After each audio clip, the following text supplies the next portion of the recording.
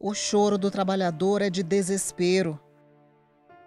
O Anderson é o provedor desta casa no bairro Maravilha, em Uberlândia, que praticamente foi destruída por um incêndio nas primeiras horas da manhã. Quando o fogo começou, ele havia acabado de acordar e estava no cômodo dos fundos fazendo o café da manhã. Eu estava dormindo, eu, eu tinha né, é, justamente ficado à noite, estava muito cansado, e aí a, a, a Regina falou, não, faz um café, eu vou fazer um café, você descansa, depois você vem tomar um café e a gente sobe para medicina. E foi nesse período que tudo aconteceu. O fogo já foi dominando, já foi tomando conta de tudo. O jovem é o responsável pelas despesas da casa onde mora, com um sobrinho de 24 anos e duas irmãs mais velhas, mas que precisam de cuidados especiais na saúde. A irmã do meio tem 47 anos. Ela tem problema crônico nos rins e faz tratamento com hemodiálise. A mais velha, de 56 anos, tem paralisia cerebral infantigável.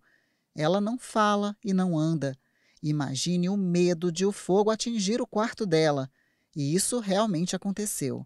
Aqui nessa casa são três pessoas, né? A Rosângela, que é especial, que é acamada, a Noeli, que é minha irmã também, que é renal crônica, e o Matheus, né?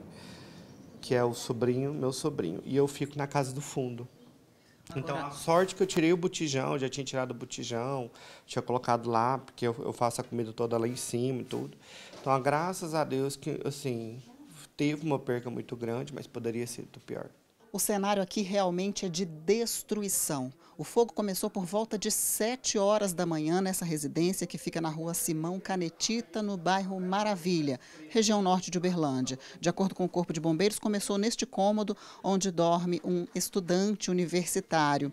Muito provavelmente ele pode ter deixado alguma coisa, um notebook ligado na tomada, e foi justamente aqui que pode ter dado o curto-circuito. Esse teria sido ah, o motivo do início desse incêndio que destruiu tudo. Inclusive, este cômodo da casa foi o mais danificado. Aqui tinha cama, móveis, né, cômodas, roupas, os materiais é, de estudo do rapaz, tudo danificado. E olha só a estrutura da parede, toda rachada, teto também. Impossível ficar aqui. Defesa Civil esteve no local e interditou, né, disse que está comprometido não só este cômodo, mas também o banheiro que fica aqui logo na sequência. Olha só a destruição, a fuligem na parede, no teto, tudo destruído por aqui. Olha só a lata de lixo ali, enfim. O próximo quarto também era o mais preocupante de todos. Ali dorme a Rosa, que tem 56 anos, é acamada, ela tem paralisia cerebral é, e dorme nesse quarto onde também foi atingido pelas chamas. Mas antes que o fogo chegasse aqui, o Anderson conseguiu retirá-la com segurança, juntamente com a ajuda de amigos, né, de vizinhos, porque o principal de tudo era salvar a vida dessa pessoa. A outra irmã de 47 anos, que também tem problema de saúde, faz hemodiálise diariamente, está internada, por isso não estava aqui na casa. E o resultado é esse: é uma destruição completa, tudo foi perdido por aqui, o que não foi destruído pelas chamas ficou comprometido com o momento de apagar o fogo. O que o fogo não levou, a água, infelizmente, danificou. As fraldas pegaram fogo, as roupas pegaram fogo, os móveis pegaram fogo. Então, assim, a gente está sempre com as mãos atadas. Eu não, sei por onde socorrer. Por sorte, a fumaça chamou a atenção de duas vizinhas que sempre estão por perto, ajudando nos cuidados com as moradoras. A mulher que faz hemodiálise estava internada quando tudo aconteceu e o Anderson tinha passado a noite como acompanhante dela no hospital. A prioridade foi salvar a vida da Rosa.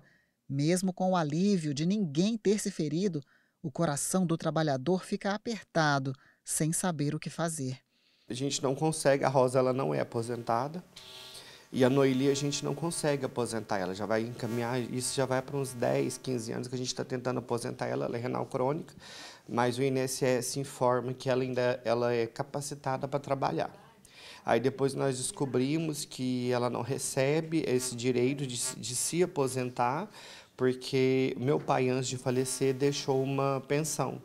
Uma pensão de em torno assim que dá para poder comprar as fraldas, né? As fraldas, a comida, e aí eu complemento com o meu salário. De acordo com informações do Corpo de Bombeiros, houve danos nas alvenarias dos quartos e banheiro, além das redes hidráulica e elétrica, danos parciais em móveis, eletrodomésticos, destruição dos vestuários, calçados e itens pessoais dos três moradores da frente. O imóvel foi liberado para limpeza e reforma. E aí a gente não sabe o que, faz, porque a gente vai para onde? Não sei para onde que a gente vai. Porque o quarto da Rosa e o quarto do meu sobrinho foi todo comprometido, e o quarto da minha irmã. Então, assim, por mais que tenha a casa do fundo, a gente pode ficar no fundo, mas a gente tem que mexer. A gente vai mexer como? Não tem. Eu me sinto aliviado que ninguém se machucou, graças a Deus. Sorte que a minha irmã estava no hospital, igual ela está hospitalizada. A Rosa, eu consegui tirar ela a tempo.